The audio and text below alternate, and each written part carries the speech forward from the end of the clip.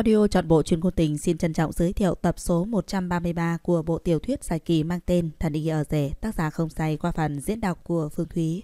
Các bạn nhớ like và subscribe để ủng hộ kênh truyện cũng như là nhấn chuông để nhận thông báo mới nhất về các bộ truyện hay được phát đều đặn trên audio chọn bộ chuyên ngôn tình các ngày trong tuần.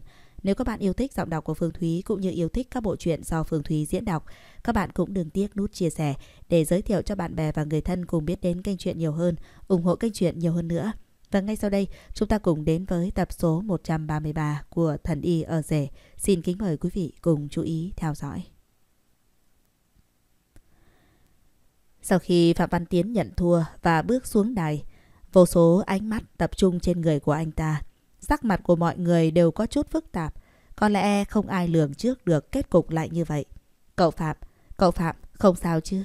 Một số bạn bè vội vàng chạy tới. Tôi không sao, không có việc gì hết. Phạm Văn Tiến cười cười.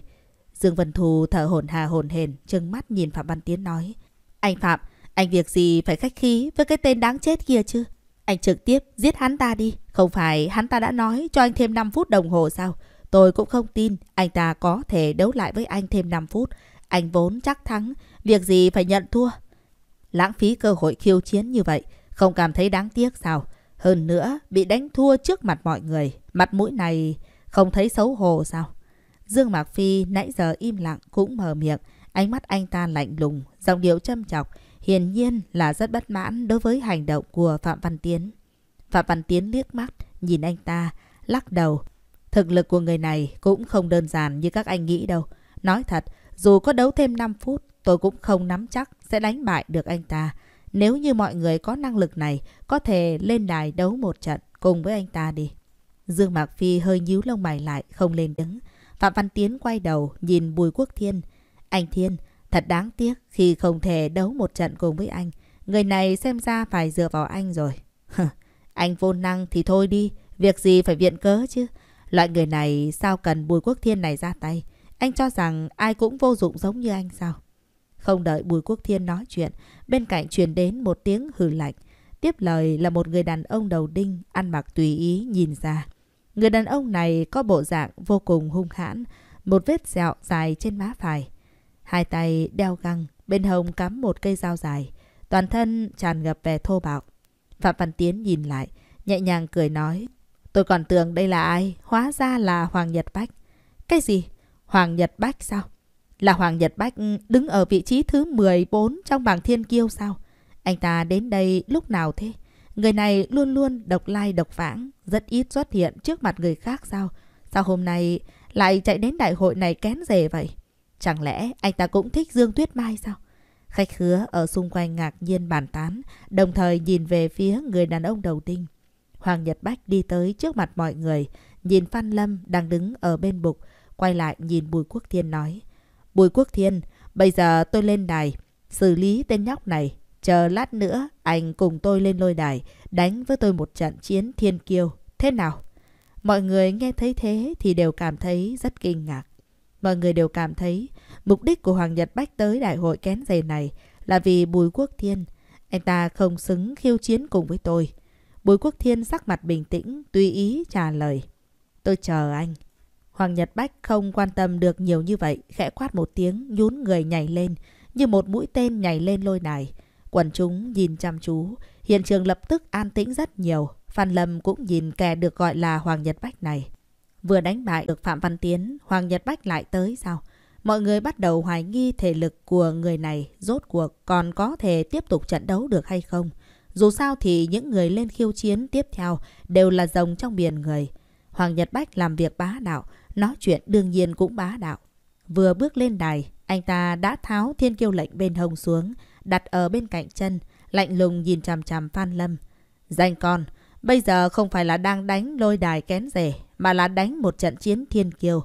Cậu thắng, lệnh bài thiên kiêu này sẽ là của cậu. Nếu tôi thua, Phan Lâm hỏi, mạng của cậu sẽ là của tôi.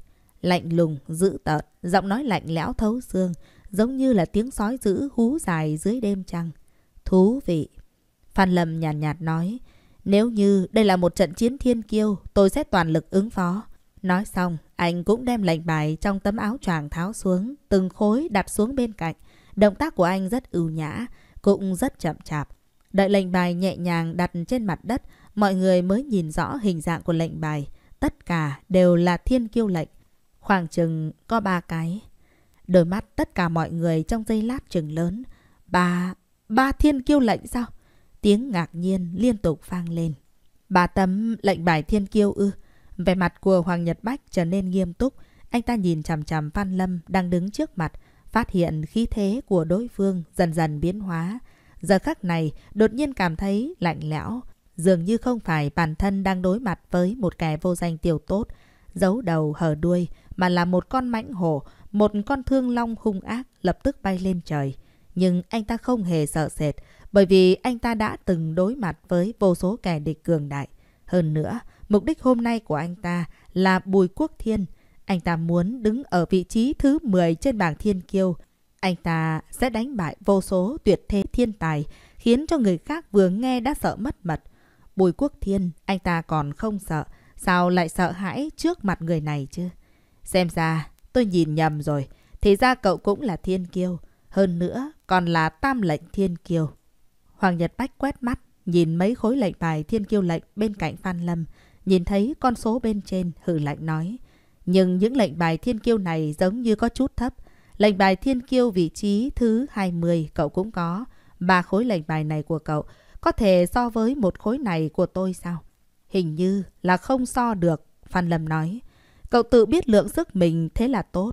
Nhưng ba lệnh bài thiên kiêu này của cậu sẽ về tay tôi. Đợi tôi cùng cậu đấu một trận, làm nóng người. Sau đó sẽ đánh với Bùi Quốc Thiên, lấy lệnh bài thiên kiêu vị trí thứ 10. Hoàng Nhật Bách quát khẽ, ánh mắt lộ ra sát ý, hai tay mãnh liệt, phát lực, đôi chân của anh ta thoăn thoát như linh dương hướng về phía Phan Lâm mà vọt tới. Giết! Anh ta gào thét một tiếng, cách một khoảng không mãnh liệt vung tay về phía Phan Lâm. Giống như là bóng vuốt sắc bén đang kéo, xé trong không khí. Một luồng gió như làn sóng khí từ đầu ngón tay của anh ta bay ra. Luồng sóng khí này giống như là lưỡi dao, hùng hăng chém về phía Phan Lâm. Thật đúng là Hoàng Nhật Bách vừa ra tay là sát chiêu. Nhìn chiêu thức đó của anh ta chắc chắn là muốn xé nát đối phương.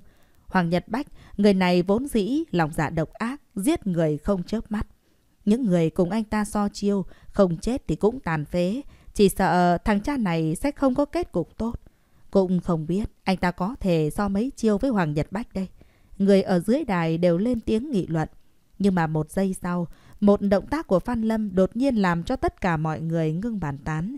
Chỉ thấy Phan Lâm đột nhiên cũng bắt đầu mở bước chân, hướng về phía trước, phóng tới. Anh cứ như vậy mà cứ ngắn vọt tới luồng khí như lưỡi đao kia, không hề né tránh, không hề sợ hãi.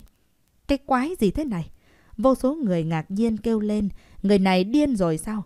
Muốn dùng thân thể đón lấy đao khí này sao? Trái tim của Hoàng Nhật Bách đập mãnh liệt, nhưng cảnh tượng diễn ra đánh sâu vào đại não, phá vỡ nhận thức của tất cả mọi người. Đào khí và thân thể của Phan Lâm chạm vào nhau, giống như thủy tinh đập vào sắt thép, bỗng nhiên trên năm xẻ bảy, nổ tung tiêu tan ngay tại chỗ. Từ trước đến nay, Phan Lâm đánh đầu thắng đó, không gì càn nổi, thân thể giống như kim cương vậy, trực tiếp lại gần Hoàng Nhật Bách. Hai chân Hoàng Nhật Bách còn chưa rơi xuống đất, đã bị văn Lâm một tay bóp ở cổ, bắt lấy cánh tay hất lên, bóp chặt Hoàng Nhật Bách, hùng hằng đè xuống mặt đất. Hoàng Nhật Bách bị đập mạnh xuống dưới lôi đài. Toàn bộ lôi đài rung lên, bề mặt lôi đài cũng xuất hiện vết nứt. Nhưng vẫn chưa kết thúc. Phan Lâm lại một lần nữa túm lấy Hoàng Nhật Bách lên, tàn nhẫn ném xuống lôi đài. Lặp đi lặp lại như thế 10 lần. Lôi đài giống như bị động đất cấp 12, lay động dữ dội. Những vết nứt trên bề mặt lôi đài xuất hiện dày đặc, chẳng chịt như mạng nhện. Dương Tuyết Mai đứng ở phía sau, suýt nữa thì không đứng vững. Cũng may là có hai người hầu tiến lên dìu. Cũng không biết là qua bao lâu, cuối cùng Văn Lâm cũng ngừng lại. Anh ném Hoàng Nhật Bách đầu đầy máu tươi, thần khí không rõ ràng sang bên cạnh. Bịch một tiếng, Hoàng Nhật Bách ngã trên mặt đất lăn vài vòng, thân thể dường như đã không còn có cảm giác. Anh ta giống như là một đống thịt nhão ngã trên mặt đất. Dưới đài là một màng tĩnh mịch, Hoàng Nhật Bách bị đánh bại một cách nhẹ nhàng. Bị đánh bại trong mơ hồ, không rõ ràng, không hề có lo lắng, hồi hộp, giống như một con chó chết, bị Phan Lâm nhấn xuống đánh. Tất cả mọi người đều đã nghĩ tới vô số khả năng, nhưng không ai có thể nghĩ đến kết quả sẽ như thế này. Dương Văn Thù đặt mông ngồi trên mặt đất, Trên gương mặt nhỏ nhắn của cô ta tràn đầy vẻ khiếp sợ. Bích Trần và An Viện đã không thể suy nghĩ. Người xem ở hiện trường toàn bộ ngưng hô hấp, ngơ ngác nhìn qua. Bùi Quốc Thiên nắm tay vịn của ghế dựa, nhìn chằm chằm Phan Lâm. Tôi đã nói rồi. Phạm Văn Tiến cười khổ một tiếng. Đây, đây chính là Thiên Kiêu. Đây chính là người đứng thứ 14 trong bảng Thiên Kiêu đó. Có thể đem bài danh Thiên Kiêu thứ 14, nhẹ nhàng đánh bại. Thực lực của người này rốt cuộc là đạt tới trình độ nào đây? Anh ta là quái vật sao? Không ai biết rõ, cũng không ai có thể hiểu được. Dương Hồng Vũ nhìn thoáng qua Phan Lâm một lát, quay người nghiêng đầu, thấp giọng nói vài tiếng với quản gia bên cạnh. Quản gia gật đầu, lập tức lui xuống. Phan Lâm nhặt ba tấm lệnh bài trên mặt đất lên, sau đó bước đi. Đi tới chỗ đặt lệnh bài của Hoàng Nhật Bách trên mặt đất. Trận chiến thiên kiêu này, tôi thắng. Tấm lệnh bài này thuộc về tôi. Phan Lâm lạnh nhạt nói, sau đó dự định cầm lên. Đi tìm chết! Lúc này Hoàng Nhật Bách nằm trên mặt đất đột nhiên ngẩng đầu, hai mắt của anh ta trở nên đỏ tươi, dường như trở nên điên cuồng, lập tức rút ra đào ở bên hông, hai tay nắm chặt hung hăng bổ về phía Phan Lâm. Cái quái gì thế? Anh Lâm, cẩn thận! Phía dưới, Bích chân và An Viện sợ tới mức kêu to thảm thiết. Tất cả mọi người đều phát ra âm thanh xôn xao. Hoàng Nhật Bách rõ ràng là đang đánh lén. Khoảng cách gần như thế, đột nhiên tập kích, căn bản là không ai có thể tránh được. Anh ta chết chắc rồi, có người la lên. Làm tốt lắm, làm tốt lắm. Dương Vân Thù lấy lại tinh thần, vui mừng hô to. Nhưng cô ta còn chưa vui mừng được bao lâu. Lưỡi đao mạnh mẽ chém lên cổ của Phan Lâm kia, giống như là chém lên sắt thép. Phát ra tiếng vang thành thúy.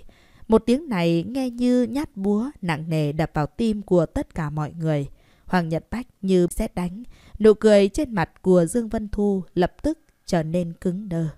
Hiện trường chỉ còn lại một màn yên tĩnh chết chóc. Dường như chỉ cần một tiếng kim rơi trên đất cũng đủ làm cho tai của người ta đau nhói.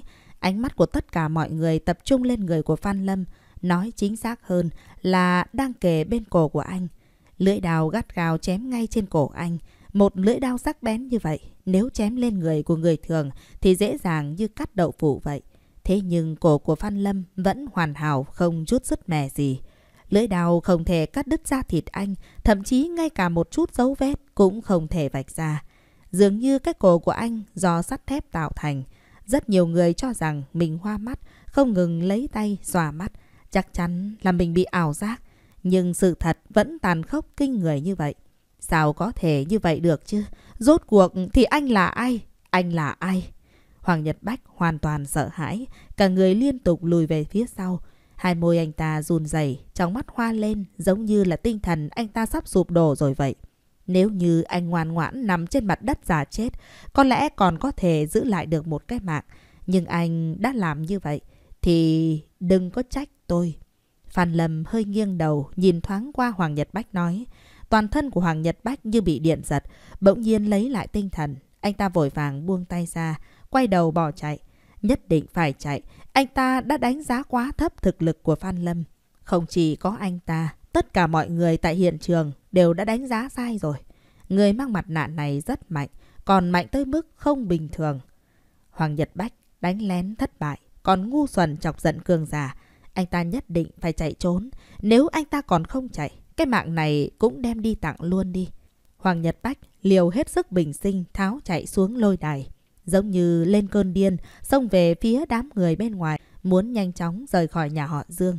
Tránh ra, toàn bộ tránh ra cho tôi, mau tránh ra.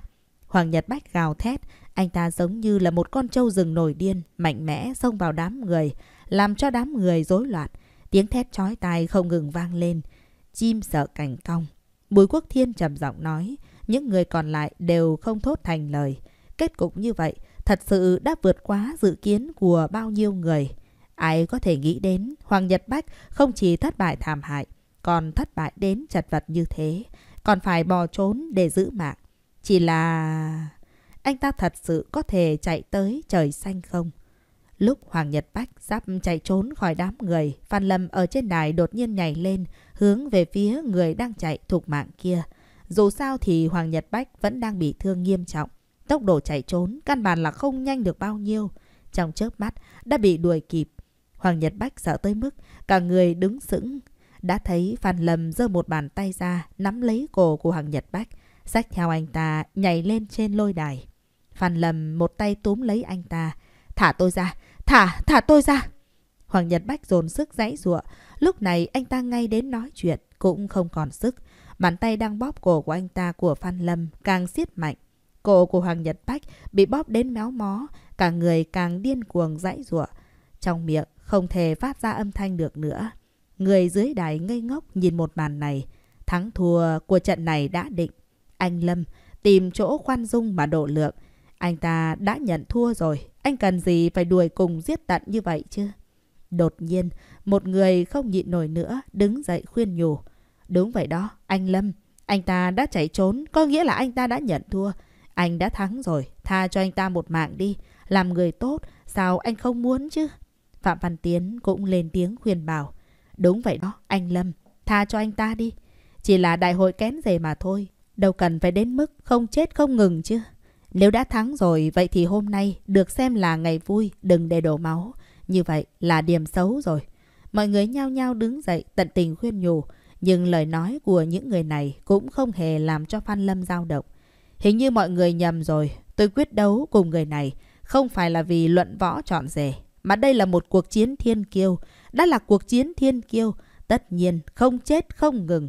Trong tình huống này tôi làm sao có thể buông tha cho anh ta chứ? Phan Lâm nhàn nhạt, nhạt mở miệng. Sắc mặt của người ở hiện trường trở nên mất tự nhiên. Như vậy nghĩa là... Anh Lâm không có ý định nề mặt của mấy người chúng tôi sao? Lúc này một gia chủ lạnh lùng hỏi. Nề mặt các người sao? Phan Lâm nhìn qua ông ta. Các người khuyên tôi buông tha cho anh ta. Chẳng qua là vì muốn Hoàng Nhật Bách nợ các người một ân tình. Muốn lôi kéo Hoàng Nhật Bách. Dù sao thì anh ta cũng là cao thủ. Các người cho rằng tôi không nhìn ra được sao? Chẳng qua tôi muốn hỏi các vị một chút. Các người là cái thá gì? Đáng để tôi nể mặt các người ư? Anh nói cái gì? Anh... anh quá lắm rồi đó. Anh thực sự cho rằng mình vô địch thiên hạ rồi hả? Đồ khốn kiếp.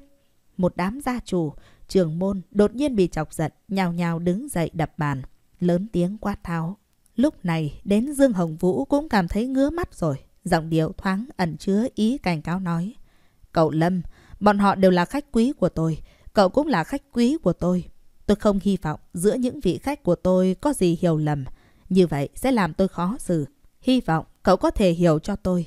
Nhưng ông ta vừa dứt lời, một cái âm thanh quỷ dị vang lên. Hiện trường lại một lần nữa lâm vào yên tĩnh. Ánh mắt của mọi người toàn bộ tập trung trên bàn tay của Phan Lâm. Nhìn thấy Hoàng Nhật Bách bị một tay anh bóp lấy, tay chân vô lực rủ xuống đất. Cô lệch qua một bên, hoàn toàn mất đi trí giác. Phan Lâm buông tay, Hoàng Nhật Bách mềm oạt té trên mặt đất. Chết rồi. Bọn họ đều hít vào một hơi. Nhân vật đứng thứ 14 trên bảng thiên kiêu bị người này bóp chết tươi. Tất cả mọi người khiếp sợ không thốt nên lời. Những gia chủ, trường môn cũng lâm vào trầm mặc. Toàn bộ trợn tròn mắt nhìn một màn vừa rồi. Trên mặt của mỗi người đều toát lên vẻ sợ hãi. Phan Lâm đi tới, nhặt tấm lệnh bài trên mặt đất lên, cất kỹ. Lại liếc mắt, nhìn hiện trường, bình tĩnh nói. Còn có ai muốn lên đài không? Lần này không ai dám lên tiếng nữa. Những anh kiệt thiên kiêu đồng loạt cúi đầu xuống. Đám người cao thủ như Phạm Văn Tiến cũng anh nhìn tôi, tôi nhìn anh, không người nào lên tiếng. Bầu không khí càng trở nên quỷ dị. Nhưng dần dần, rất nhiều ánh mắt của mọi người dừng lại ở trên thân của một người. Ánh mắt của Phan Lâm cũng đang nhìn người nọ. Bùi Quốc Thiên. Đến lượt anh lên rồi đấy. Phan Lâm nhàn nhạt, nhạt nói.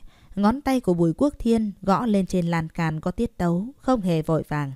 Cậu Thiên, cậu Thiên, chúng tôi trông chờ vào cậu. Cậu nên ra sân rồi. Những người xung quanh dùng ánh mắt chờ đợi nhìn anh ta. Anh rể, anh nhất định phải đánh bại cái tên khốn kiếp kia. Nếu không, chị cả của em sẽ phải gả cho tên đó đó. Dương Vân Thù nhào đến, kéo tay của Bùi Quốc Thiên, tâm trạng kích động nói. Bùi Quốc Thiên liếc nhìn Dương Hồng Vũ, nhìn thấy sắc mặt của người kia bình tĩnh, không có biểu tình gì dư thừa, lông mày không khỏi nhíu lại một cái. Lão Hồ Ly, nếu tôi thắng, nhà họ Dương và nhà họ Bùi làm thông ra. Nếu như tôi thua rồi, nhà họ Dương được kết minh cùng với Đông Hoàng giáo, dù có như thế nào thì ông cũng không lỗ. Dương lão hồ ly này trái lại đã tính toán kỹ càng cả rồi. Bùi Quốc Thiên nén giọng thì thầm một mình, thích thú đứng dậy, đi đến lôi đài. Bốn phía đột nhiên trở nên yên tĩnh, vô số ánh mắt sáng rực dính lên trên người của anh ta. Hơn 10 giây sau, Bùi Quốc Thiên đứng ở trên lôi đài, toàn trường tập trung cao độ. Bùi Quốc Thiên lên đài, có nghĩa là đại hội kén rể đã tiến vào giai đoạn cuối cùng. Nếu ngay cả Bùi Quốc Thiên cũng không đấu lại được người này, vậy thì những người ở đây không ai có thể đối phó được với anh. Vô số người đặt hy vọng của mình vào Bùi Quốc Thiên. Anh rể, cố lên, nhất định phải thắng đây. Dương Vân Thu trực tiếp mở to miệng lớn tiếng la lên. Vân Thu, con không được làm loạn. Sắc mặt của Dương Hồng Vũ khẽ thay đổi quát lên. Ba, con làm cái gì sai chứ? Con câm miệng cho ba. Vẻ mặt của Dương Hồng Vũ nghiêm nghị. Dương Vân Thu chu miệng ra vẻ ấm ức. Nhưng lúc này rất nhiều người ở phía dưới đều mở miệng. Cậu Thiên nhất định phải đánh bại người này. Đúng vậy, cậu Thiên nhất định phải thắng đó. Đánh cho cái tên cuồng vọng này kêu cha gọi mẹ đi. Cho anh ta biết thế nào là trời cao đất rộng. Tên này đã quá kiêu ngạo rồi. Cho anh ta thấy được sự lợi hại của cậu đi. Đánh anh ta cút xuống đài. Đánh chết càng tốt. Đúng vậy, đánh chết anh ta. Đánh chết anh ta đi. Khán giả lòng đầy căm phẫn ồn ào la lên. Muốn cổ vũ tinh thần cho Bùi Quốc Thiên. Nhất là những tông phái và danh gia thế tộc. Một câu nói kiêu ngạo kia của Phan Lâm lúc trước đã hoàn toàn đắc tội với những thế tộc tông phái này. Bọn họ tự nhiên không hy vọng người như Phan Lâm có thể lấy được Dương Tuyết Mai, thành lập quan hệ thông gia với nhà họ Dương. Sư tỷ, chị nói xem, anh ấy có thể thắng không?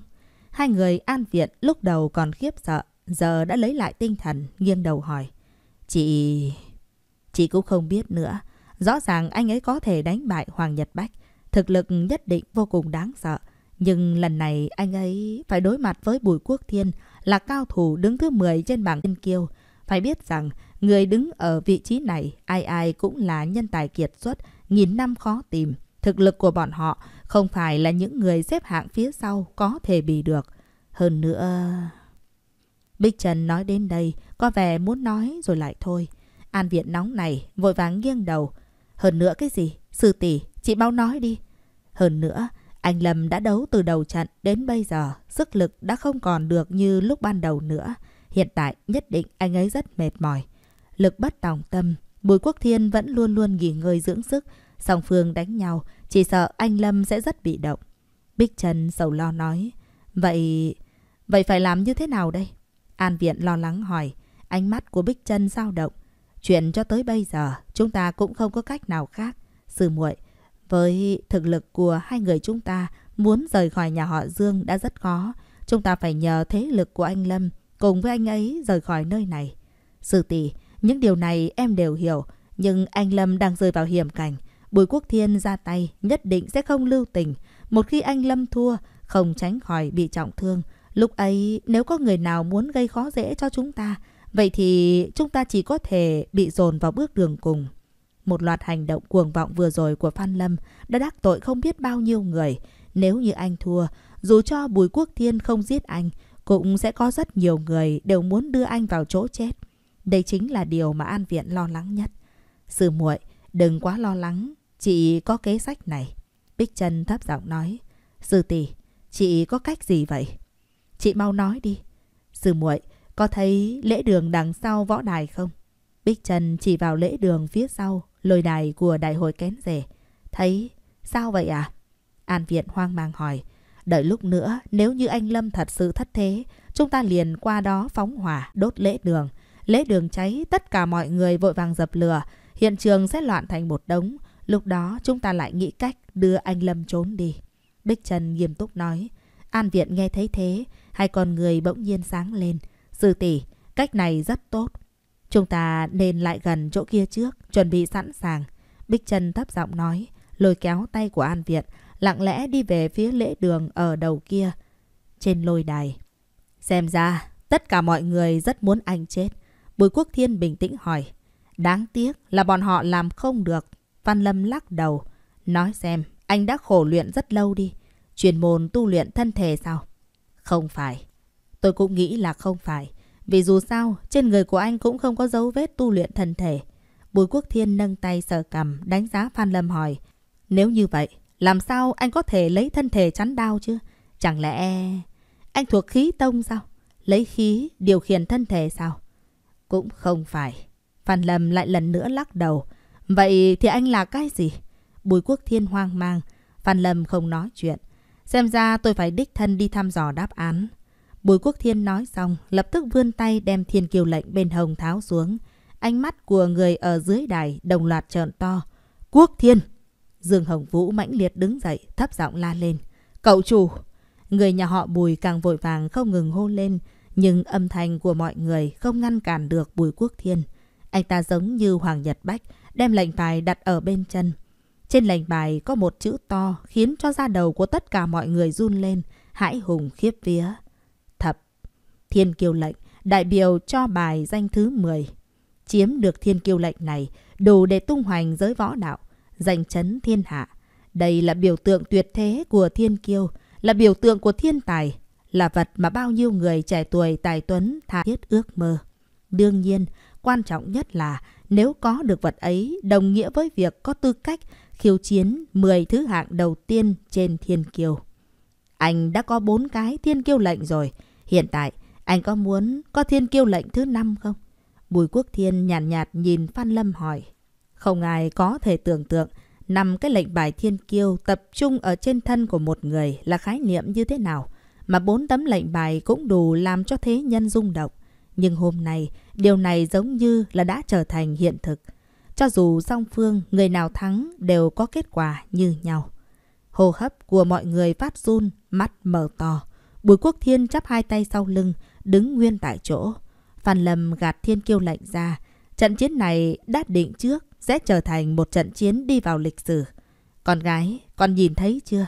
Hai thiên tài tuyệt thế vì con mà chiến. Đây là phúc phận của con đó. Cũng là phúc của nhà họ Dương chúng ta. Dương Hồng Vũ nhếch miệng lên, nhìn hai người trên lôi đài, cười nói. Nhưng mà ba ơi, trong mắt của ba, bọn họ chỉ là một đồ vật có giá trị cao mà thôi. Phúc phận mà ba nói, cùng lắm, cũng chỉ là như vậy. Dương Tuyết Mai nhàn nhạt, nhạt nói. Tuyết Mai, con nói như vậy là ý gì chứ? Dương Hồng Vũ híp mắt hỏi. Bà, con đã sớm nói với ba, con đã có người trong lòng rồi. Sao vậy? Chẳng lẽ con không muốn nghe lời ba ư? Không muốn gà cho một trong hai bọn họ sao? Giọng nói của Dương Hồng Vũ trở nên nghiêm túc lạnh lẽo. Mặt của Dương Tuyết Mai không biểu tình, không nói gì thêm.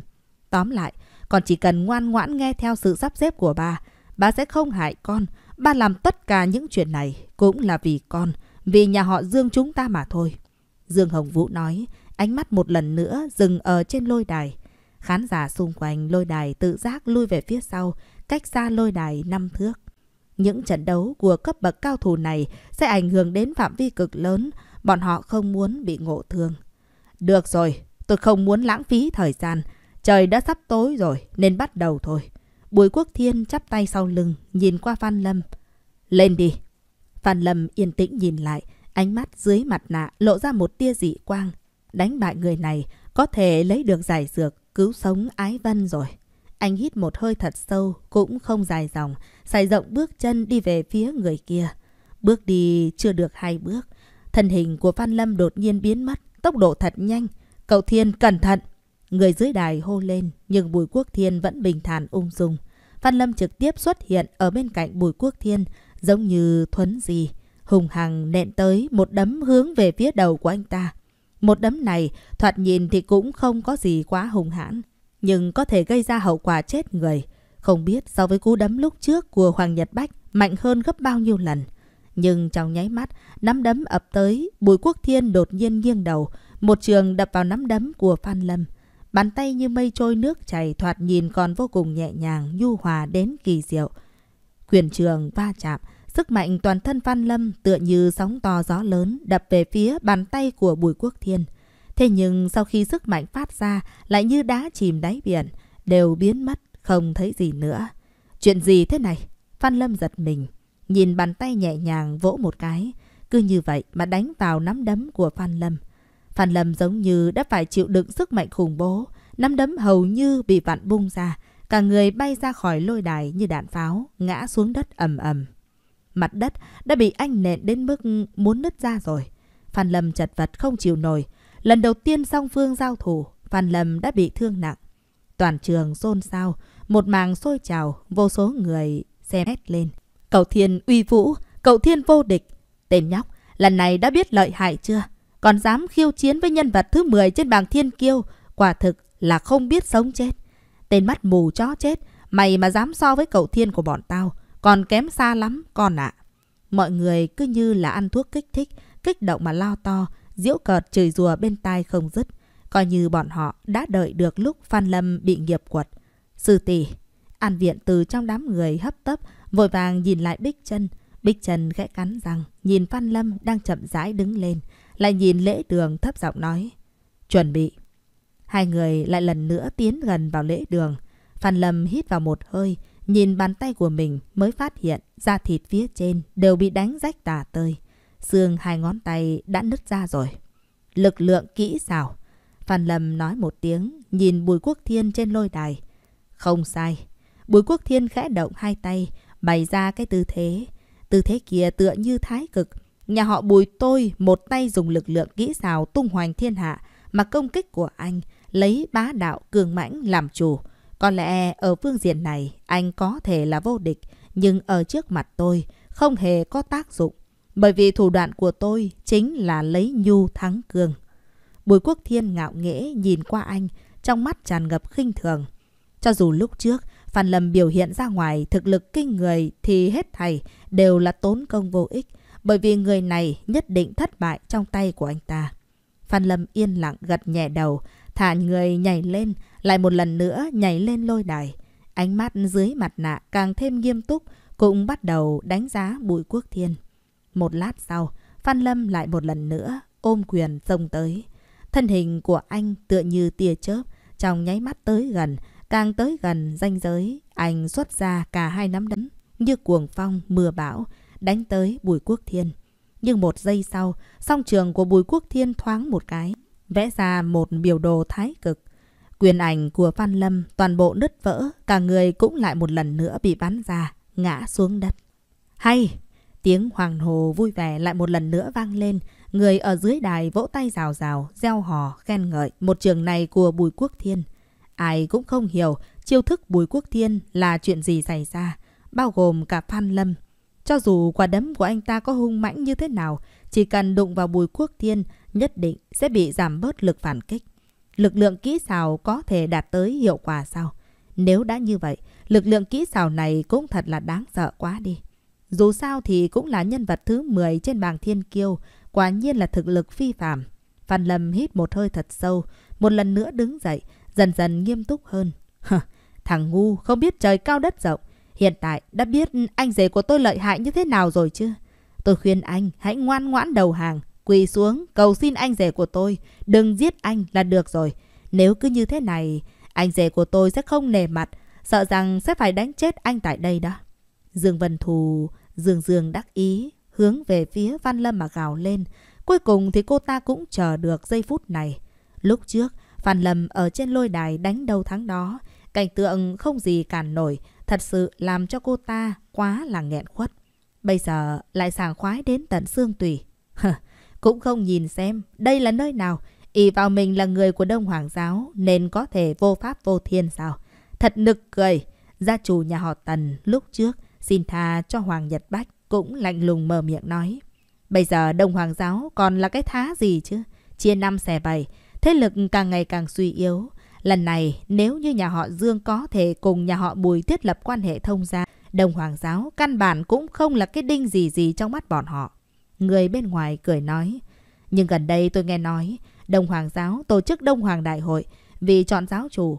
Nếu Đông Hoàng giáo có giáo chủ mới, tình hình có thể đã không như bây giờ. Không biết là người nào cẩn thận từng ly từng tí nói một câu. Câu này vừa dứt, những trận khinh thường cùng với cười nhạo vang lên. Cho dù thật sự có giáo chủ thì như thế nào chứ? Khó khăn của Đông Hoàng giáo cũng không thể dựa vào một lần đại hội là có thể giải quyết. Quá nhiều người muốn làm giáo chủ. Ngoại trừ dùng thực lực nói chuyện, bằng không dùng bất kỳ cách nào thì cũng không thể thống nhất Đông Hoàng giáo. Có người đứng ra phản bác. Hiện trường đầy người nghị luận không thôi. Nhưng cũng càng có nhiều người nhìn về phía Phan Lâm. Anh không để ý đến những lời vô bổ xung quanh. Ánh mắt dưới mặt nạ càng ngương trọng nghiêm túc. Chỉ nhìn chằm chằm Bùi Quốc Thiên lại một lần nữa bước về phía trước. Bước chân kiên định. Xem ra tôi ra tay hơi nhẹ. Bùi Quốc Thiên nhìn Phan Lâm một lần nữa đi tới, lắc đầu. Có lẽ tôi nên nghiêm túc hơn, nhanh chấm dứt trận quyết đấu nhàm chán này. Nói xong, Bùi Quốc Thiên chủ động công kích. Bước chân của anh ta hướng về phía mặt đất một chút. Toàn bộ lôi đài đột nhiên đung đưa, như một thuyền nhỏ trao đảo giữa sóng to gió lớn, kịch liệt lắc lư. Đây là tất cả lực lượng kỹ xảo của Bùi Quốc Thiên, bởi vì lôi đài này lay động. Phan Lâm có hơi chút đứng không vững, nhưng làm anh càng khiếp sợ, bởi vì dưới tác động của lực lượng kỹ xảo, tuy rằng lôi đài rung đến lợi hại, nhưng không bị nát ra. Cuối cùng thì đây là loại sức mạnh nào vậy? Phan Lâm không cách nào nghĩ thông được. Trong tích tắc, Bùi Quốc Thiên đã xuất hiện trước mắt anh. Đối mặt với tôi mà anh còn có thể phân tâm là anh đang xem thường tôi hay là cảm thấy chính mình đã vô địch thiên hạ. Cuồng vọng, tự đại như vậy, nếu không giết anh, lòng tôi khó nén. Giọng nói của Bùi Quốc Thiên lạnh lùng truyền đến, một bàn tay vươn tới như ảo ảnh hư vô. Bàn tay kia quá nhanh, quá ảo, lực lượng của nó đã không cách nào dùng ngôn từ để diễn tả. Phan Lâm tin rằng, cho dù núi lớn đến đâu, bị một trường này đánh trúng cũng nát thành cát bụi, chứ đừng nói chi là người. Bàn tay kia hung hăng vỗ vào ngực của Phan Lâm, từ lòng bàn tay phát ra một vòng dày hoa văn khiến cho người ta kinh sợ, như làn sóng xanh rung động, khuếch tán ra bốn phía, trùng trùng điệp điệp, tràn ra xa. Một vài khán giả ở gần đó bị làn sóng này đụng ngã lăn trên mặt đất. Có người hôn mê tại chỗ, có người kêu to thê thảm, như thể đau đớn vô cùng. Những người còn lại thì sợ tới mức hồn bay phách lạc, điên cuồng lùi ra phía sau. Về phần Phan Lâm, anh không ngừng lui về phía sau, thiếu chút nữa lại té xuống lôi đài. Một trường này, lực mạnh kinh người, có lẽ nó không có uy năng kinh thiên động địa, không có khí thế rời núi lấp biển, nhưng lực tàn phá tuyệt đối không phải là người bình thường có thể tưởng tượng được. Sau một kích này, Bùi Quốc Thiên cũng thu chiêu. Kết thúc rồi. Có người ý thức được trực tiếp mở miệng nói. Mỗi khi cậu Thiên thu chiêu, có nghĩa là đối phương đã thua. Xem ra, tên điên này thật sự không chịu nổi một kích. Thua nhanh như vậy sao? Như vậy là đủ rồi. Dù sao thì anh ta cũng đã tiếp của cậu Thiên vài chiêu. Có thể cùng nhân vật thứ 10 bảng thiên kiêu đánh thành như vậy. Còn chưa đủ sao? Dương Mạc Phi nhàn nhạt, nhạt hừ lạnh một tiếng. Rất nhiều người không biết anh ta cũng bại trong một chiêu của Bùi Quốc Thiên. Có thể tiếp một chiêu của Bùi Quốc Thiên cũng đủ cho anh ta nói khoác huynh hoàng. Một hồi lâu sau, Phan Lâm mới đứng vững cơ thể. Anh hít vào một hơi thật sâu, nhìn chằm chằm vào ngực của mình. Cảm giác trong ngực như có một cỗ lực lượng dòng điện đang chạy, điên cuồng sông loạn trong lục phủ ngũ tạng cùng tứ chi của anh. Có gì ngôn gì thì nói nhanh lên, bởi vì 10 giây sau, lực lượng kỹ xảo sẽ đem người sống xé nát. Thật xin lỗi, không thể cho anh chết toàn thây. Bùi Quốc Thiên lạnh nhạt nói, nhưng mà Phan Lâm không nói chuyện, chỉ nhìn chằm chằm vào ngực của mình, lại như đang cảm thụ được cái gì đó. Một lát sau, anh trực tiếp nhắm hai mắt lại, không chút sứt mẻ, giống như pho tượng. Điều này làm cho người ở dưới đài ngây ngần cả người. Tên này... Làm gì vậy? Không phải bị dọa ngu rồi đấy chứ. Tôi thấy có thể anh ta nghĩ thông rồi, đang ngoan ngoãn chờ chết. Tiếng nghị luận không ngừng.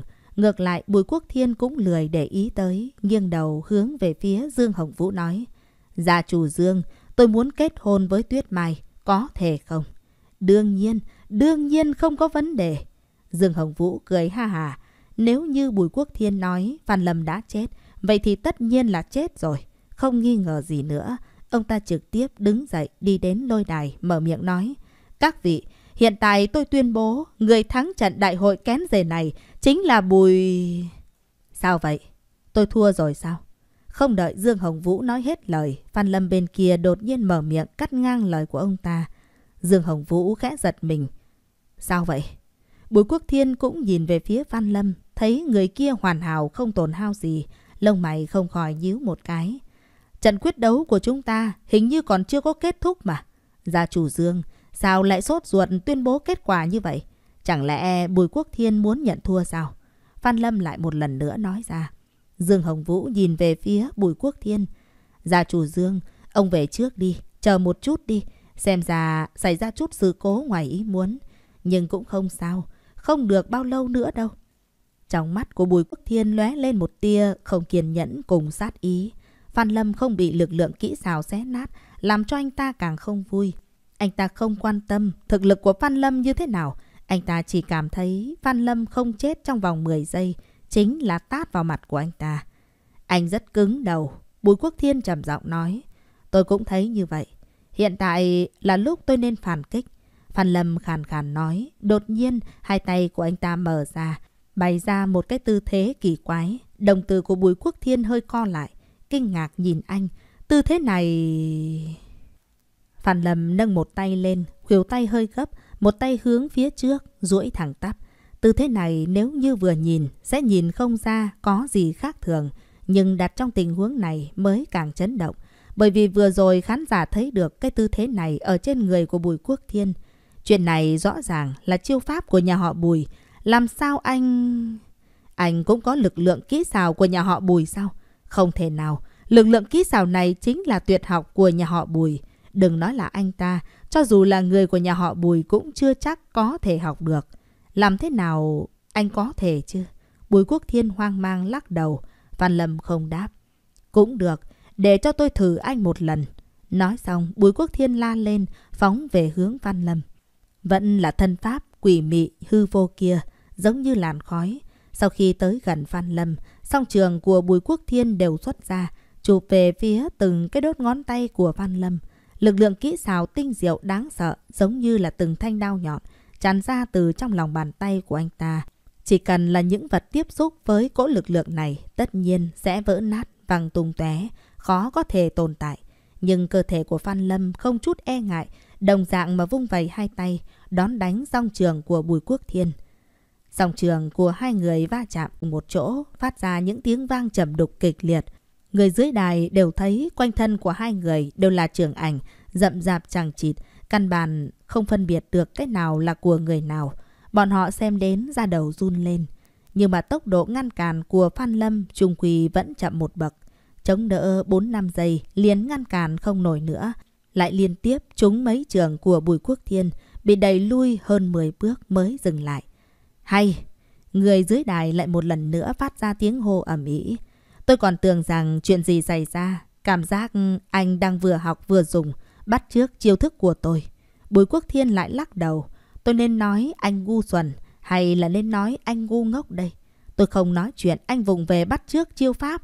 Tôi chỉ muốn hỏi anh một câu.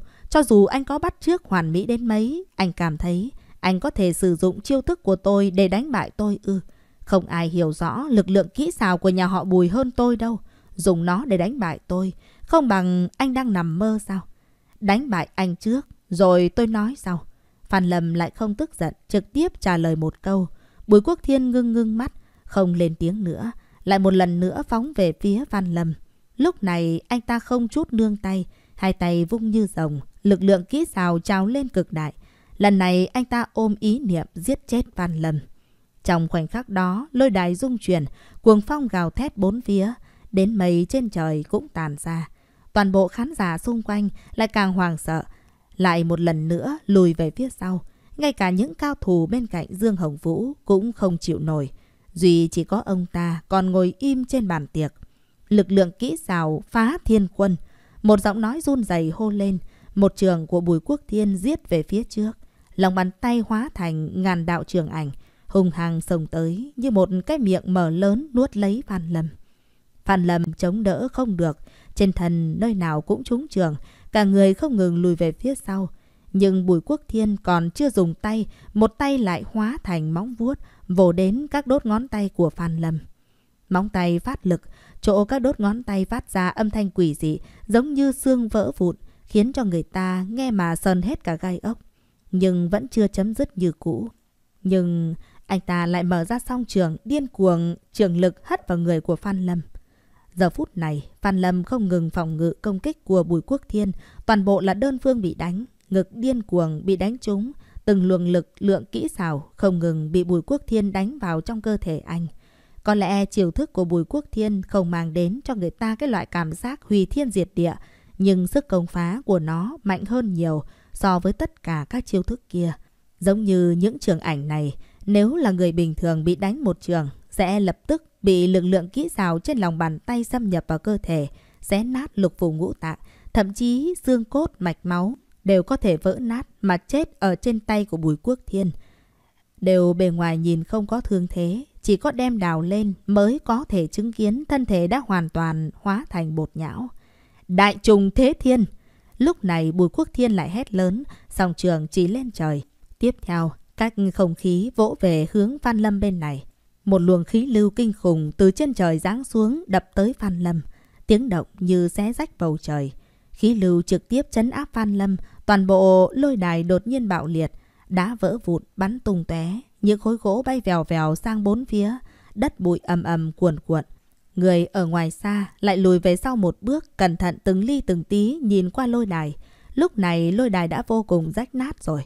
Thậm chí ngay cả mảnh đất phía dưới lôi đài đều xuất hiện những vệt dạn nứt. Khủng bố như vậy, kinh người như vậy. Đây là uy lực, lực lượng kỹ xảo của Bùi Quốc Thiên. Đây là thực lực của nhân vật thứ 10 trong bảng thiên kiêu. Mọi người đều run rẩy hít vào một hơi, mở to mắt nhìn lên. Dương Vân Thù không lập tức vui sướng vì Văn Lâm có thể đã chết, mà đang đắm chìm sự mạnh mẽ của Bùi Quốc Thiên không cách nào tự kiềm chế. Sư tỷ, bên này An Viện đi đến gần lễ đường, nhìn thấy cảnh kia, vội vàng nghiêng đầu la lên. Ra tay! Bích Trần quát khẽ, không quản những thứ khác, trực tiếp quay đầu chạy về hướng lễ đường. Hai người các cô đang làm cái gì thế? Trong lễ đường chỉ có vài người hầu đang chuẩn bị rượu và thức ăn. Nhìn thấy hai người phụ nữ xông tới, đều bị làm cho sững sờ. Nhưng Bích trần chỉ có thể bất chấp tất cả, cầm lấy đèn cầy ở trên giá nến, đặt ở dưới màn của lễ đường, đốt lên. Chỉ chốc lát sau, lễ đường giấy lên ngọn lửa hừng hực. Cháy rồi! Có chuyện gì vậy? Cháy ở đâu? Mọi người đang thất thần, tỉnh táo lại, lớn tiếng hô. Gia chủ, hình như là lễ đường tiệc cưới cháy rồi. Người bên cạnh vội vàng hôn lên. Cái gì? Dương Hồng Vũ đứng bật dậy, mặt giận dữ, lớn tiếng quát. Nhanh, gọi người đi cứu hỏa. Vâng. Người nhà họ Dương nhao nhao chạy về phía lễ đường.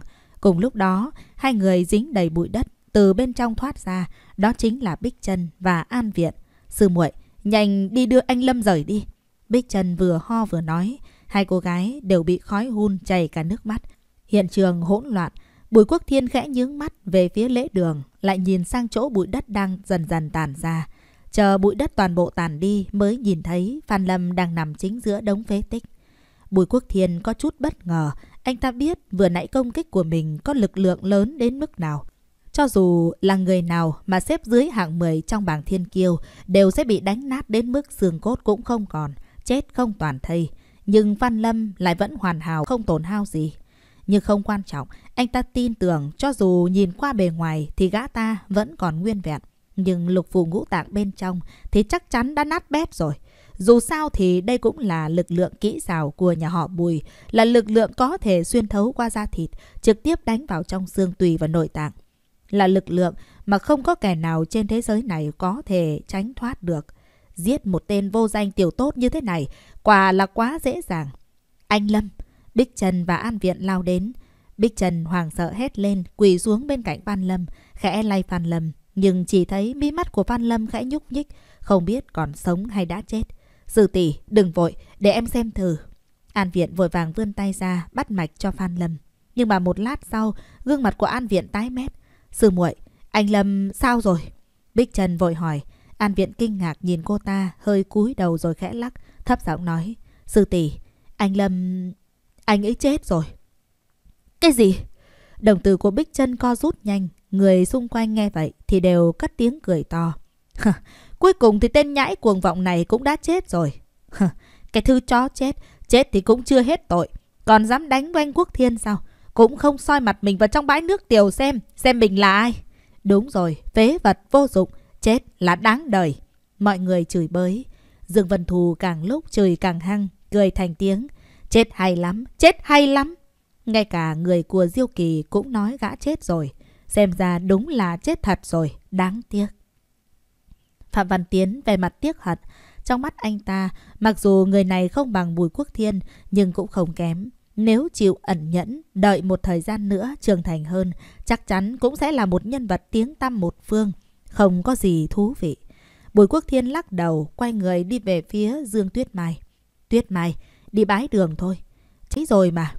Dương Tuyết Mai nhàn nhạt, nhạt nói, Từ đầu đến cuối, cô ta đều mang thái độ hở hững, không hề quan tâm đến điều gì. Rất nhanh sẽ được dập tắt thôi. Hôm nay chúng ta kết hôn là hy vọng của ba em và nhà họ Bùi. Đừng để cả hai nhà thất vọng. Hơn nữa, có thể gà cho Bùi Quốc Thiên tôi cũng là phúc phận của em. Chẳng lẽ em không muốn làm người phụ nữ của tôi sao? Bùi Quốc Thiên đạm mạc nói, ngạo nghễ nhìn Dương Tuyết Mai.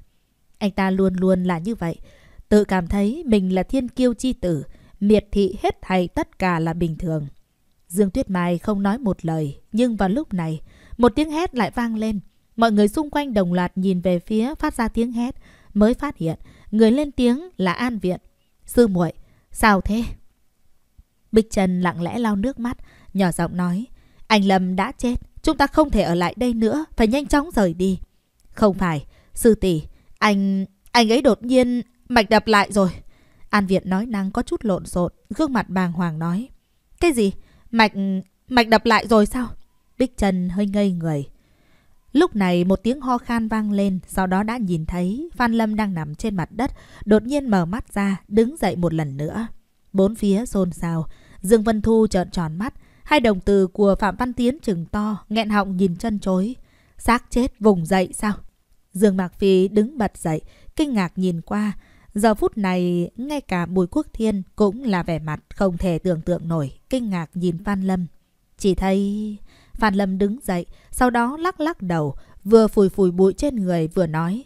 Cái này là lực lượng kỹ xào sao? Quả nhiên tinh diệu, quả nhiên tinh diệu. Không thể nào. Bùi Quốc Thiên nhìn Phan Lâm, khàn khàn nói. Sao lại không chết chứ?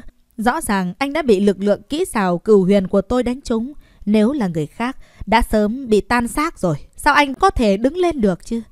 Có lẽ là bởi vì lực lượng kỹ xảo của anh cũng chẳng ra gì. Phan Lâm nhìn thẳng vào anh ta, bình tĩnh hỏi. Mọi người nghe xong thì hít một hơi thật sâu. Dám nói như vậy với Bùi Quốc Thiên trong bảng Thiên Kiều. Trên đời này chỉ sợ cũng chỉ có một mình Phan Lâm dám làm. Sắc mặt của Bùi Quốc Thiên rất khó coi, gắt gao nhìn chằm chằm vào Phan Lâm. Giờ khắc này, anh ta mới phát hiện ra chỗ không đúng. Đột nhiên, biểu cảm của Bùi Quốc Thiên biến đổi, giống như là nghĩ tới điều gì đó, trầm giọng chất vấn. Anh đánh với tôi từ nãy tới giờ, thân thể vẫn không hề hấn gì. Chắc chắn cơ thể của anh phải có điểm đặc biệt gì đó. Trên đời này, ngoại trừ thân thể trí tôn có thể kháng cự lực lượng kỹ xảo của tôi, thì không có loại thân thể nào có thể ngăn cản được. Chẳng lẽ anh đã tu luyện được thân thể trí tôn ư? Thân thể trí tôn sao? Tôi không rõ. Không biết thân thể trí tôn và thân thể tiên thiên cương, cái nào mạnh hơn cái nào? Sắc mặt của Phan Lâm không biểu tình hỏi. Thân thể tiên thiên cương ư? Cả người của Bùi Quốc Thiên theo bản năng lui về phía sau một bước. Trong mắt là sự ngạc nhiên và chấn kinh. Người bình thường có thể không biết thân thể tiên thiên cương là cái gì, nhưng Bùi Quốc Thiên thì biết. Dù sao thì thứ mà lực lượng kỹ xảo của nhà họ Bùi khó đối phó nhất chính là thân thể cường hãn loại này. Nhưng để có thể luyện thành thân thể tiên thiên cương là vô cùng khó khăn. Có nhiều người khổ luyện, chuyên tu thân thể, dốc hết cả đời cũng chưa chắc đã có thể rèn luyện được thân thể đến loại cường độ này. Nhưng người trước mặt mình, nhìn qua thì cũng chỉ là một người thanh niên chừng hai mươi mấy tuổi. Tại sao lại có thể có thân thể tiên thiên cương được chứ? Không thể nào, tuyệt đối không thể nào. Không phải là võ đạo trí thánh giả, tuyệt đối không thể nào tu luyện được thân thể tiên thiên cương. Anh có thực lực gì, tôi cũng có thể nhìn ra được. Anh không thể nào có thân thể tiên thiên cương được. Bùi Quốc Thiên hít một hơi thật sâu, ánh mắt nghiêm túc nói. Cho dù là về lý trí hay là cảm tính thì cũng làm anh ta không cách nào mà tiếp nhận được. Nhưng nếu người này không phải là thân thể tiên thiên cương thì tại sao lực lượng kỹ xảo của mình lại không làm gì được anh ta chứ? Bùi Quốc Thiên giang hai tay ra, triển khai tư thế một lần nữa, chuẩn bị tấn công Phan Lâm. Anh ta muốn thử lại một lần nữa. Động tác của người nhà họ Dương rất nhanh chóng, ngọn lửa ở lễ đường rất nhanh, đã được khống chế. Hiện trường rối loạn cũng đã được bình ổn lại. Dương Hồng Vũ đầy giận dữ, vòng trở lại, tầm mắt của mọi người cũng một lần nữa tập trung trên người của Phan Lâm. Nhìn thấy Phan Lâm lại có thể đứng lên được, tất cả mọi người không khỏi kinh ngạc. Vẻ mặt khó có thể tin, sao cái tên kia vẫn chưa chết? Chẳng phải người của Diêu Kỳ Cốc đã nói mạch của anh ta không còn đập nữa rồi sao? Sao lại thế này? Chẳng lẽ cậu ta xác chết là vùng dậy rồi sao? Nhưng lại nghe một gã người nhà họ Dương chỉ vào hai cô gái bên cạnh Phan Lâm lớn tiếng la lên.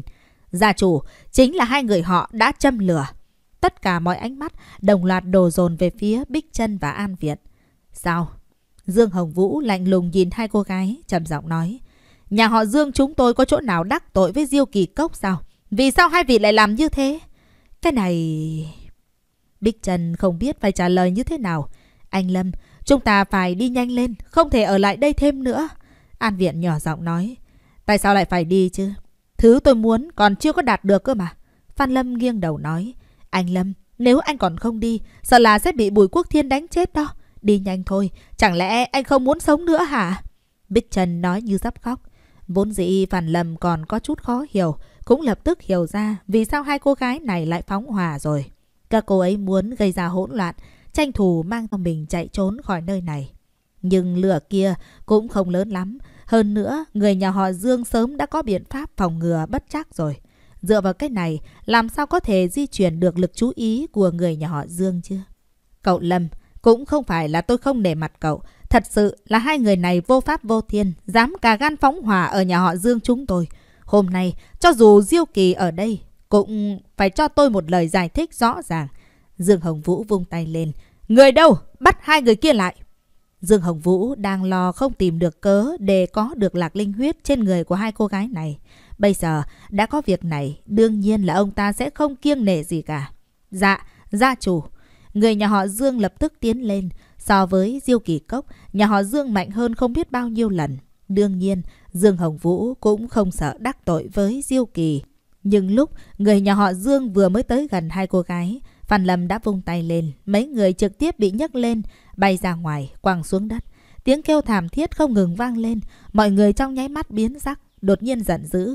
Họ Phan kia, anh làm cái gì đấy? Dương Vân Thù tức giận quát lớn. Khốn nạn, anh muốn đối nghịch với chúng tôi sao? Dương Mạc Phi đứng dậy gầm lên. Người đâu? Bắt ba người này lại cho tôi. Nếu ai dám phản kháng, cắt tay chân. Vâng. Bốn phía cao thủ nhà họ Dương đã muốn nhào lên lắm rồi. Phan Lâm nhào mắt, cũng không sợ. Nhưng đúng lúc này, Bùi Quốc Thiên lên tiếng. Dương gia chủ, vì sao lại muốn phá hư trận quyết đấu của tôi với anh ta thế? Dương Hồng Vũ nhướng mày. Cậu Quốc Thiên, bảo người của ông lui ra, mặc kệ có chuyện gì, chờ chúng tôi đánh xong, rồi hãng nói. Sắc mặt của Bùi Quốc Thiên không biến sắc nói. Anh Quốc Thiên, bọn họ ngang nhiên khiêu khích nhà họ Dương chúng tôi. Sao có thể chịu đựng được chứ? Dương Mạc Phi trầm giọng nói. Bùi Quốc Thiên nhíu mày lại, nghiêng đầu nhàn nhạt, nhạt hỏi. Sao nào, các người muốn phá hư cuộc chiến của Thiên Kiêu nào? Lời này vừa nói, mọi người hãi hùng khiếp vía. Cuộc chiến của Thiên Kiêu vô cùng thần thánh, không một ai có thể can thiệp. Nếu không, sẽ phải chịu sự khiển trách, thậm chí là đả kích của toàn bộ người giới võ đạo. Chủ yếu nhất là sẽ chọc giận bọn họ. Nhà họ Dương vẫn không cả gan đến mức này. Người nhà họ Dương bắt đầu do dự. Dương Hồng Vũ đắn đo rồi vung tay lên. Các người lui xuống trước đi. Chờ cậu Quốc Thiên và cậu Lâm đây quyết đấu xong lại đi bắt người. Dạ, gia chủ. Mọi người gật đầu, Dương Hồng Vũ lại không hề lo lắng. Nếu như Bùi Quốc Thiên giải quyết được Phan Lâm, thì ông ta cũng nhẹ người. Nếu như Bùi Quốc Thiên thất bại, Phan Lâm khẳng định sẽ e sức cùng lực kiệt. Lúc đó, ông ta muốn bắt người thì cũng dễ như ăn kẹo thôi. Như thế nào đều có lợi, nên ông ta cũng không cần phải sốt ruột. Đánh nhanh thắng nhanh đi. Bùi Quốc Thiên nhìn Phan Lâm nói. Được. Phan Lâm gật đầu, ý bảo Bích chân và An Viện tránh xa ra một chút. Hai cô gái do dự một chút, nhưng trung quy thì vẫn phải lùi ra sau. Nhưng mà hai cô gái vừa mới lùi về sau, thì Bùi Quốc Thiên lại biến mất lần nữa. Cẩn thận! Bích Trân nghẹn ngào la lên, Phan Lâm quay đầu lại, đã thấy Bùi Quốc Thiên song trường lại một lần nữa đập tới. Sát ý bắn ra. Lần này song trường của anh ta lại có một loại khí công kỳ diệu và đặc biệt bao quanh, trông rất biến ảo. Khi đánh tới lực lượng phía trên, lại như sóng to gió lớn đánh tới. Bùi Quốc Thiên đã dốc hết toàn lực.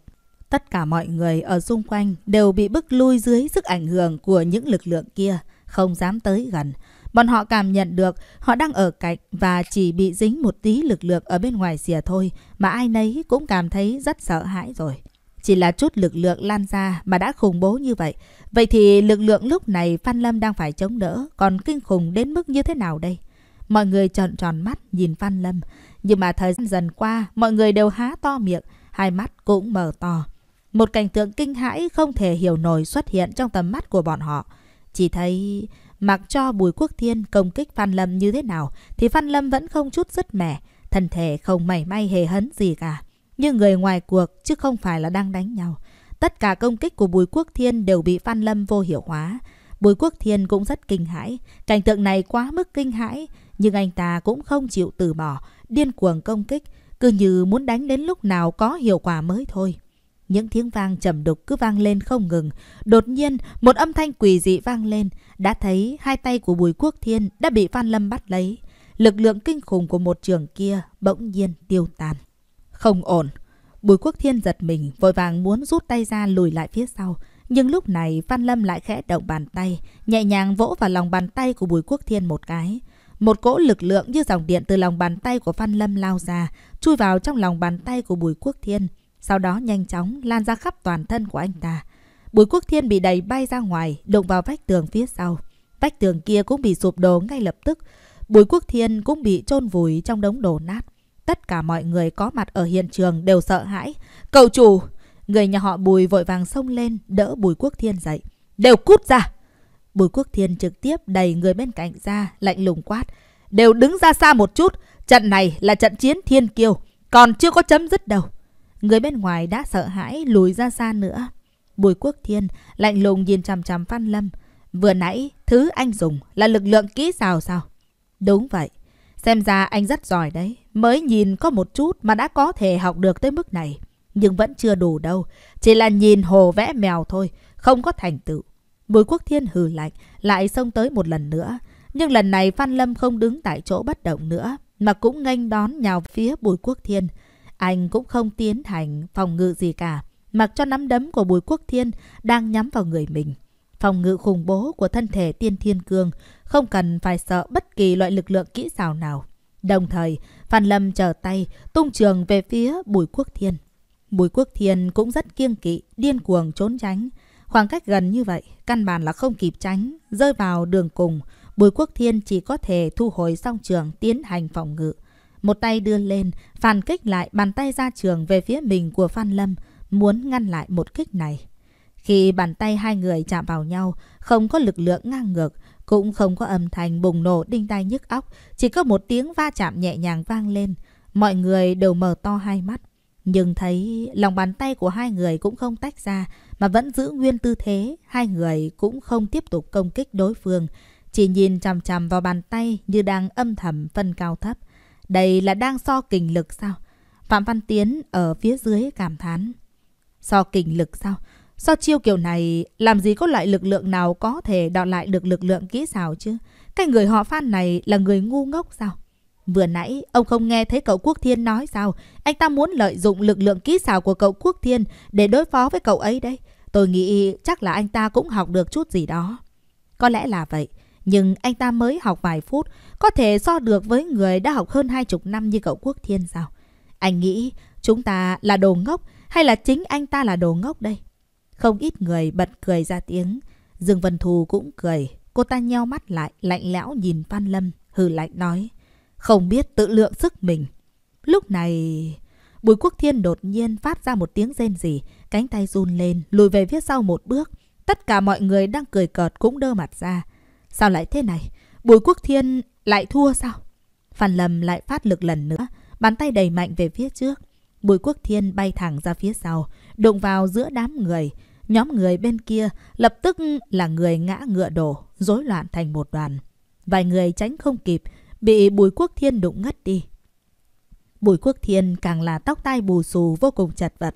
Anh ta vội vàng đứng dậy, nhưng Phan Lâm đã lao đến, tung trường giống như động tác của Bùi Quốc Thiên. Trường lực nhu hòa, không có chút cảm giác mạnh bạo nào. Nhưng mà càng như thế thì càng đáng sợ. Bùi Quốc Thiên mở to mắt, đưa tay lên đỡ. Một tiếng vang trầm đục, cơ thể của anh ta lại bị đánh bay ra ngoài như tên bắn. Cậu chủ! Người nhà họ Bùi sốt ruột kêu lên. Những người ở hiện trường cũng xôn xao. Sao lại thế này? Thứ mà tên kia dùng là lực lượng kỹ xảo ư? Không đúng, không đúng. Sao lực lượng kỹ xảo của anh ta lại có thể làm cho cậu Quốc Thiên bị thua nặng nề như thế này được chứ? Nhất định là có vấn đề. Rốt cuộc thì anh ta đã dùng thủ đoạn gì đây? Những tiếng than khiếp sợ và kinh ngạc vang lên không ngừng. Chiến đấu vẫn còn tiếp tục. Phan Lâm thừa thắng sông lên, không muốn cho cơ hội Bùi Quốc Thiên thở dốc. Anh ta đánh tới một lần nữa. Bùi Quốc Thiên phẫn nộ phản kích, nhưng mà không hề có tác dụng. Anh ta phát hiện, thật ra lực lượng kỹ xảo của Phan Lâm cũng không tính là mãnh liệt, nhưng cơ thể của anh lại quá kinh khủng. Cho dù mình có công kích như thế nào thì đều không để lại hề hấn gì cho Phan Lâm. Công kích không có hiệu quả, chỉ có thể đơn phương bị đánh. Mà thân thể của Bùi Quốc Thiên thì lại không khủng bố bằng Phan Lâm. Sau khi chúng mấy chiều, khóe miệng của Bùi Quốc Thiên đã ứa máu, không đủ sức để đứng thẳng nữa. Lực lượng kỹ xảo mà Phan Lâm đánh ra lại mạnh mẽ xông vào trong cơ thể của anh ta, suýt nữa đã xé nát lục phù ngũ tạng. Nếu cứ tiếp tục như vậy nữa, Bùi Quốc Thiên sẽ bị đánh chết mất. Bảo vệ cầu chủ! Người nhà họ Bùi không nhịn được nữa, điên cuồng hét lên một tiếng, lao đến vây quanh Bùi Quốc Thiên. Phan Lâm thấy vậy, động tác dừng lại, nhàn nhạt, nhạt nói. Thế nào, các người muốn tham gia vào trận chiến thiên kiêu sao? Người nhà họ Bùi nghe vậy, sắc mặt người nào người nấy đều rất khó coi. Nhưng một người trong số bọn họ đã cắn răng nói. Cái gì mà trận chiến thiên kiều chứ? Chúng tôi chỉ là tham gia đại hội kén rể thôi. Cậu học trộm võ học của nhà họ Bùi chúng tôi, sử dụng thủ đoạn hèn hạ, làm cậu chủ nhà chúng tôi bị thương. Sao chúng tôi có thể bỏ qua được chứ? Học trộm sao? Phan Lâm nhíu mày lại. Không phải vừa nãy cậu chủ nhà các người đã nói tôi học trong lúc giao đấu với anh ta sao? Lúc này, Bùi Quốc Thiên ở phía sau đầy đám người ra, lau vệt máu trên khóe miệng, vẫn nộ hỏi. Bớt nói nhảm đi, nói ngay, anh đã học trộm lực lượng kỹ xảo của nhà họ Bùi tôi từ lúc nào? Tôi có học trộm hay không? Chẳng lẽ trong lòng anh không biết sao? Hơn nữa, chẳng nhẽ tất cả những người biết lực lượng kỹ xảo ở trên cái thế giới này thì nhất định phải học từ nhà họ Bùi của các người sao? Phan Lâm không nhanh không chậm nói. Bùi Quốc Thiên âm thầm nghiến răng. Quả thật Phan Lâm cũng không học trộm. Trong lòng anh ta cũng rất rõ ràng. Nhưng người này thiên phú cực kỳ yêu nghiệt. Nhìn mấy chiêu rồi học mà anh ta cũng đã nắm giữ được tinh túy của lực lượng kỹ xảo. Mặc dù những công kích lúc trước cũng chưa được thuần thục lắm. Nhưng Bùi Quốc Thiên cũng đã hiểu được vì sao Phan Lâm lại muốn học tập lực lượng kỹ xảo của mình. Cũng không phải là anh ta muốn lợi dụng lực lượng kỹ xảo để đối phó với mình, mà là đang nghiên cứu kẽ hở của lực lượng kỹ xảo của mình. Anh là người có được thân thể tiên thiên cương. Nếu như anh ta có thể phân tích được lực lượng kỹ xảo của mình, thì sẽ có thể nghĩ ra được cách phòng ngự lực lượng kỹ xảo hiệu quả hơn. Đây cũng là lý do vì sao lúc trước anh ta nhiều lần chịu đòn mà không đánh lại Bùi Quốc Thiên. Bây giờ, anh đã hoàn toàn nhìn thấu lực lượng kỹ xảo của Bùi Quốc Thiên rồi. Bùi Quốc Thiên hiểu mình đã không có hy vọng chiến thắng Văn Lâm nữa. Tiếp tục đánh nữa thì mình không chỉ rơi vào con đường thân bại danh liệt, thậm chí rất có thể còn bị đối phương đánh chết tại đây. Phải nghĩ cách để tránh cuộc chiến này. Bùi Quốc Thiên trầm giọng khẽ nói. Anh bạn, nói vậy mà không thấy cắn rứt lương tâm sao? Anh học trộm lực lượng kỹ xảo của nhà họ Bùi chúng tôi. Đúng là ti tiện, loại người hèn hạ vô sỉ tiểu nhân như anh. Càn bản là không có tư cách để so chiêu với tôi. Vậy được rồi, tôi cũng không cần phải lực lượng kỹ xảo. Tôi sẽ dùng chiêu thức của mình để đấu với anh. Phan Lâm nhàn nhạt, nhạt nói. Quá muộn rồi. Bùi Quốc Thiên vẫn lắc đầu. Người xung quanh thấy thế đều bừng tỉnh đại ngộ. Bùi Quốc Thiên đang trốn tránh. Anh ta sợ rồi. Tôi thấy anh chính là sợ hãi anh Lâm của chúng tôi nên mới nói ra những lời như vậy. Bùi Quốc Thiên, nếu anh sợ thì cứ việc nói thẳng. Sao lại còn ngậm máu phun người kiểu này nữa? An Viện nhịn không được mà lớn tiếng nói. Còn danh con, ở đây không đến lượt cô nói chuyện. Câm miệng, nếu không, ông đây giết chết các người. Một gã người nhà họ Bùi hung thần ác sát nói. An Viện sợ hãi, không dám lên tiếng.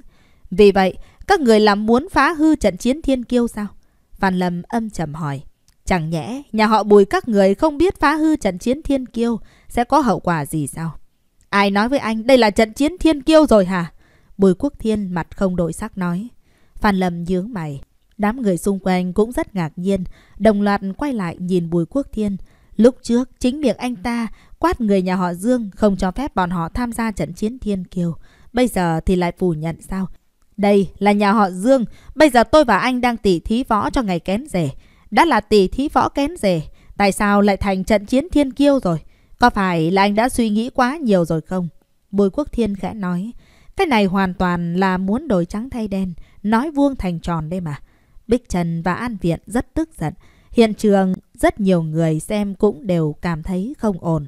Nhưng đó là nhà họ Bùi, mặc dù rất nhiều người trong nội tâm không thoải mái, cảm thấy hành vi này của Bùi Quốc Thiên thật là trơ chẽn, nhưng cũng không dám nói gì. Ai dám đi đắc tội với nhà họ Bùi chứ? Phan Lâm nhìn Dương Hồng Vũ, lúc này ông ta đã nhắm mắt lại. Hiển nhiên, ông ta không muốn tham gia vào chuyện này. Phan Lâm thẳng thắn nói, nếu đã vậy, vậy thì bây giờ chúng ta cũng là đang tiến hành quyết đấu để chọn rể. Người nhà họ Bùi các anh nhúng tay vào, có phù hợp không? Bây giờ, anh cũng không quan tâm đến cái thẻ bài của Bùi Quốc Thiên nữa. Anh chỉ muốn có được vị trí thứ nhất, mang thuốc giải đi. Nhưng làm sao mà Bùi Quốc Thiên lại chịu nhận thua như vậy chứ? Nếu chuyện này truyền ra ngoài, thì anh ta sẽ thân bại danh liệt mất. Nhưng đánh thì lại đánh không lại, cũng không thể để nhận thua. Phải làm sao đây? Chỉ có thể càn quấy, đổi trắng thay đen. Tuy tôi và anh đang quyết đấu để kén rể, nhưng anh học trộm công pháp của nhà họ Bùi chúng tôi. Tội không thể tha. Loại người như anh, tôi nhất định phải mang về nhà họ Bùi để hỏi tội. Người đâu? Lên! Bắt người này lại! Bùi Quốc Thiên trực tiếp vung tay lên, nghiêm khắc quát. Dạ, cậu chủ! Mọi người nhào về phía Phan Lâm. An viện khiếp sợ, hiện trường xôn xao. Gia chủ của nhà họ Dương, Bùi Quốc Thiên, ngang nhiên gây sự trong ngày kén rề của nhà họ Dương. Chẳng lẽ ông không ngăn lại sao? Nếu không thì uy nghiêm của nhà họ Dương còn ở đâu nữa? Bích Trân vội vàng nói. Tuy Dương Hồng Vũ muốn bắt Bích Trân, nhưng cô ta nói cũng rất có lý. Ông ta bèn nhìn về phía Bùi Quốc Thiên. Dương gia chủ, bà tôi nói, mấy cái miếng cừu nhai ngọc điêu kia, ông ấy đồng ý tặng cho ngài. Bùi Quốc Thiên ngẩng đầu nói với Dương Hồng Vũ. Hô hấp của Dương Hồng Vũ bỗng nhiên run rẩy, vội vàng nói, cậu nói là thật sao? Dương gia chủ nói vậy, là sao đây? Bùi Quốc Thiên tôi từ trước đến giờ đều là nhất ngôn cửu đỉnh. Bùi Quốc Thiên gãi nói. Dương Hồng Vũ cười ha hà, mừng rỡ, liên tục gật đầu nói. Tốt, rất tốt. Nếu như cậu Quốc Thiên thành tâm coi nhà họ Dương chúng tôi là bạn bè, thì tôi cũng không thể làm mất lòng cậu được. Người đâu? Có. Đám người quản gia vội vàng tiến lên. Đi giúp đỡ cậu Quốc Thiên, bắt tên trộm không những phá hư quy tắc mà còn học trộm tuyệt kỹ của nhà họ Bùi này lại cho tôi. Dương Hồng Vũ chỉ vào Phan Lâm nói. Vâng. Mọi người đồng thanh hô lên. Tất cả mọi người đều vô cùng ngạc nhiên. Dương Hồng Vũ không cần suy nghĩ đã đứng về phía Bùi Quốc Thiên sao? Cứu nhai ngọc điêu kia, rốt cuộc là bảo bối gì? Lại làm cho Dương Hồng Vũ thay đổi thái độ nhanh đến như vậy. Các bạn vừa nghe xong tập số 133 của bộ tiểu thuyết dài kỳ mang tên Thần Y ở rể tác giả không say qua phần diễn đọc của Phương Thúy. Các bạn nhớ like và subscribe để ủng hộ kênh truyện cũng như là nhấn chuông để nhận thông báo mới nhất về các bộ truyện hay được phát đều đặn trên audio chọn bộ truyện ngôn tình các ngày trong tuần. Chúc các bạn nghe truyện vui vẻ. Xin tạm biệt và hẹn gặp lại.